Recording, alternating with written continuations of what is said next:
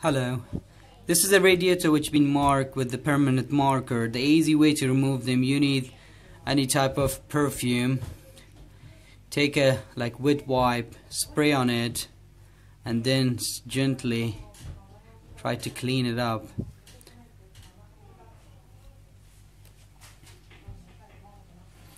You chew, you just little bit spray on it and slowly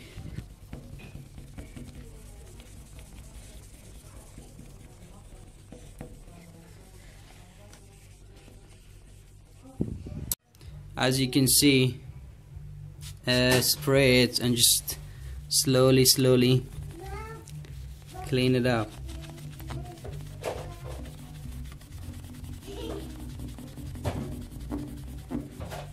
It's coming off I have to this you need a little bit force for this when you're cleaning up.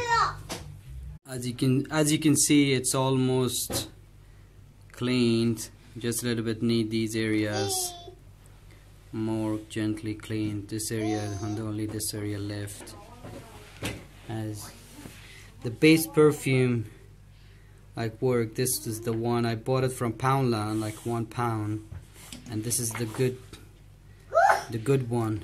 It's worked very nice. Remove it so nicely.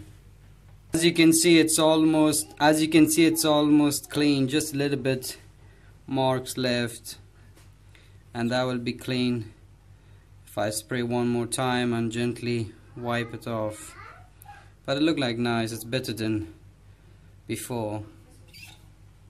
It's better than nothing there you go. It's a clean up nice and clean